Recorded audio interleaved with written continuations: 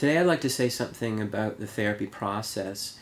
People who have never been in therapy before uh, are curious to, to know what it's about or what they might expect if they were to choose to uh, engage in a course of therapy with a clinician.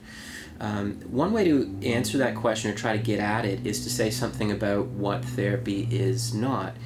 One of the things that I find when you ask people, um, what do you expect to get out of the sessions? Um, what are you hoping to achieve out of uh, our work together? Uh, people will often respond by saying that they're looking for uh, skills or tools to help them deal with some aspect of their life, whether it be anxiety, depression, or relationship problems, or, or whatever. Um, now, what's interesting about uh, that response, you know, that uh, a skill or a tool, is that a skill I think implies that there's going to be something that's going to be taught uh, explicitly uh, that there's this sort of pedagogical relationship between the clinician and the client or the patient, um, and that the expert clinician is going to instruct the client on, on how to deal with some problem or issue.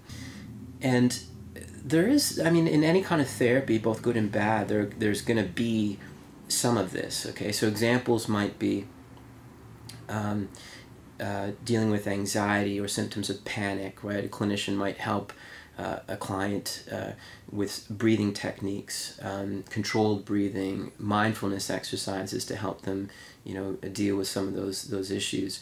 Uh, with depression, there might be this aspect of kind of challenging rational thoughts if, if they're irrational, and if it's uh, assumed that the irrational thoughts are, are causing some of this emotional distress that the, the client is experiencing. Um, now, this sort of approach, though, I think, is often not really doing a whole lot more than helping a person manage symptoms, right, or cope with symptoms. Um, so the reason why I think a, a, lot of people find themselves stuck in some aspect of their life is they're actually stuck because there's something kind of operating just outside of their awareness that they can't quite put their finger on. And it's usually something operating on, on a physiological kind of emotional level, you know, that, that hasn't been made explicit.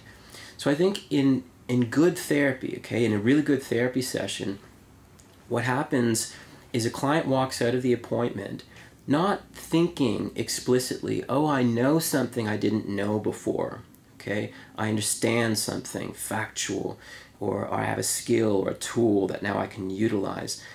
In a good therapy session, I think people walk out kind of feeling different. They feel moved in some really important way uh, they feel in some way that they've been opened up, you know, to experiencing things in a different way.